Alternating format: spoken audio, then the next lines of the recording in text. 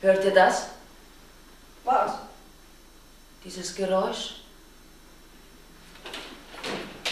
Ihr müsst es doch auch hören. Dieses Klopfen. Äh, Zara hört mal wieder ihr Klopfen. Es klopft nicht. Ich höre nichts. Sauf nicht so viel. Aber es klopft.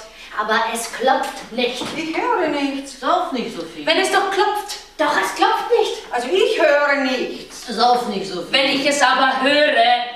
Und, wenn sie deinem Kopf klopft, dann behalte es doch gefälligst für dich. Oder unterdrücke es. Ich habe das ständig getan. Schließlich hat die letzten Jahre auf Erden immer irgendjemand an meine Türen geklopft. Wenn ich da jedes Mal geöffnet hätte, eine Horde Fans hätte mich weggefegt. Dass ich ständig dieses Klopfen höre, das muss etwas zu bedeuten haben. Ja, anfangs habe ich es auch noch wahrgenommen, aber an einem bestimmten Zeitpunkt hört man es nicht mehr, das Klopfen. Es ist schon so lange her, dass ich ein Klopfgeräusch vernommen habe. Eine Ewigkeit. Ach du lieber Gott, wie lange sind wir schon hier? Gott! Das ist es. Er will mir etwas sagen. Sauf nicht so viel, will er dir sagen. Aber natürlich! Gott gibt mir ein Zeichen! Du hast doch gesagt, früher hat ständig immer irgendwer an unsere Türen geklopft. Wir waren berühmt, beliebt. Gefragte Stars, das waren wir.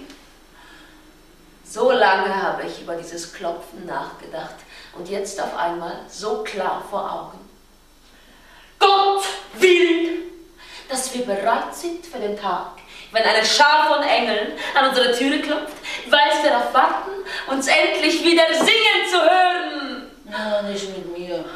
Ich will mit anderen Engeln nichts mehr zu tun haben. Also nur, weil es bei dir klopft. Entschuldige, niemand hört ein Klopfen außer dir, Zara. Bitte belästige uns doch nicht damit. Aber versteht doch, wenn die Stunde kommt, und sie wird kommen, wir sind Legenden, dann müssen wir bereit sein. Die Himmelswelt, sie wartet auf unsere Stimmen. Die Engel, sie werden bald nach uns rufen. Und alles wird wieder so sein wie früher. Wie früher. Ich wieder auf der Bühne. Wir könnten unsere Wolke verlassen. Ich verlasse meine Wolke nicht und ich beantworte keine Fragen. Bei Zusammenkünften der unterschiedlichsten Art werden immer Fragen gestellt und es wird immer politisiert. Ich bin politisch vollkommen unberührt. Politik hat mich nie interessiert und Politik wird mich nie interessieren. Ich verlasse meine Wolke nicht, komme was wolle, ich bleibe. Ich ebenfalls.